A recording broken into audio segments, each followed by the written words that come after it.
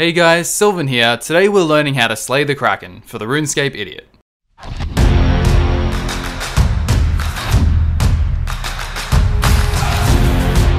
Now, the Kraken is definitely not the hardest boss, but I remember what I thought before I tried it. The fight actually seemed daunting, probably because it was instance and I was afraid of dying. Today we're going to go through requirements, how to get there, a recommended setup, and strategy and tips. Just as a quick note, for those of you still waiting on my raids guide, it's still coming, I've just had to redo some of it as I wasn't happy with the quality, and I think I strayed a little bit from what this series is about. But be sure to check out my Twitch if you'd like to learn, and stay tuned for the guide in the coming week. Now on with the guide. First up, let's look at the requirements. Obviously, this isn't going to be for your average Nightmare Zone product, as you're going to need at least 87 Slayer, along with 50 magic, 40 defense, and 60 HP. These are just the minimums, and you're not going to be very efficient or make much with the minimum stats, so I'd highly recommend the following. 75 magic for a trident if you have one, 70 defense and range for Karil's armor, 45 prayer for Mystic Might, and 75 HP for survivability. While there are no quest requirements, I'd highly recommend completing the following quests. Fairy Tale Part 2 for the Fairy Ring teleport, Horror from the Deep for the prayer book, and Underground Pass if you're using an Iban staff. You'll also need to be on a Kraken task or you won't be able to attack it. There are two main ways of getting there, the AKQ Fairy Ring or the Piscatoris teleport, with a teleport scroll or a western banner. You can also walk there from somewhere, but the trips pay for the Piscatoris teleport in the first few kills, so that's really a waste of time. Once you're in the cave, walk towards the crack in the wall. The normal rooms are generally full with people, so it's better to create a private room. It'll cost 25,000 dollary dues, but it can be taken directly out of your bank, so you don't need to bring it with you. Creating a private room is also instant, so you will not be able to recover any items lost on death.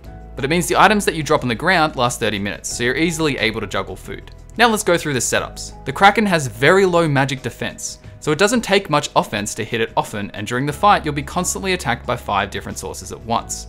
Because of this, you're going to notice that we bring gear with high magic defense rather than offense. When picking your gear, just make sure you have over 25 magic attack when using an Iban staff and over 0 if you're using a trident.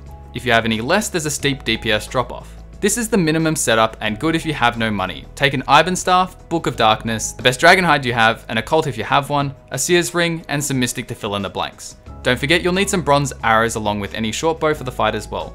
You won't need to deal any damage at all with the arrows or bow, so bronze is fine. For your inventory, take a method to get there, in this case I put in the Dramen Staff, a rune pouch with Law, Death, Nature, and Smoke runes, this is for the Iban's Blast, High Alch, and teleports to Varrock, a Super Defense, as it helps greatly with lower tier gear like this one, and fill up the rest with Sharks. If you'd like to use Mystic Might when attacking, bring a Prayer Pot or two in place of the Sharks, and if you have an Imbued Heart, take out another Shark for it. If you don't have an imbued heart and you'd like to bring a magic potion, swap out the super defense for a battle mage potion. Here's an example of a higher level setup. You'll notice we've swapped to a high magic defense shield. This could be an Ele, Spectral, Buckler, or an Odium Ward in this case, like I have here. If you don't have a magic defense shield, take a Book of Darkness or a Mage's Book. You'll still be taking your best magic defense top and bottom, in this case I have Karil's. For the ring slot, a Ring of Suffering is best and then Seers. An imbued Seers ring is better than a Brimstone ring here, and considerably cheaper. And don't forget to take bronze arrows as you'll need them. The inventory setup is very similar to the other setup. In your rune pouch, take smoke, law, and nature runes for Alchs and a teleport to Varrock. Take an imbued heart or a battle mage potion, a way to get there, a short bow, and fill the rest with food. Similar to the last setup, if you want to use your augury or mystic might, take two prayer potions instead of two of the sharks as well.